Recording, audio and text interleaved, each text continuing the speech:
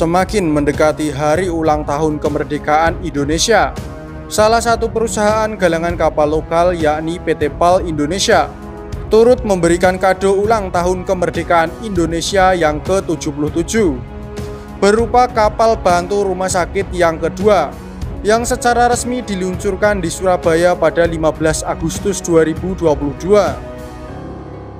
Acara ship naming dan launching kapal BRS kedua tersebut digelar di Dermaga Dok Gali Semarang Divisi Kapal Niaga PT PAL Indonesia.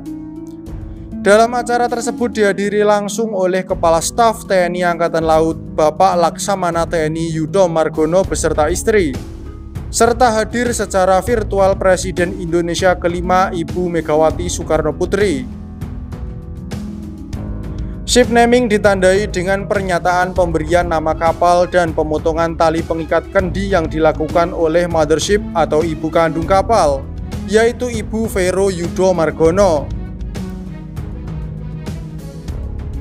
Acara kemudian dilanjutkan dengan pernyataan peluncuran oleh Kepala Staf Angkatan Laut dengan menekan tombol sirine sebagai simbol pertama kali badan kapal menyentuh air.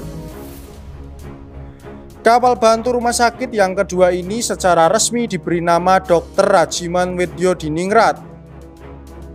Dipilihnya Dr. Rajiman Wedyo Diningrat sebagai nama kapal ini sendiri bukan tanpa alasan. Dr. Rajiman Wedyo Diningrat merupakan seorang dokter sekaligus pejuang kemerdekaan Indonesia. Semangat Dr. Rajiman dalam dunia kesehatan serta jiwa patriotnya diharapkan dapat menjadi tauladan bagi kita semua. Dalam acara tersebut turut hadir juga keluarga dari Dr. Rajiman Wedyo Diningrat.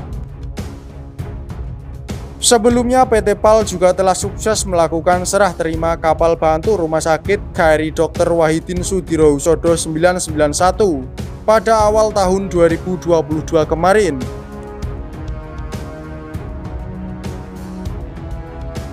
Rumah Sakit Dr. Rajiman Video Diningrat 992 resmi saya luncurkan.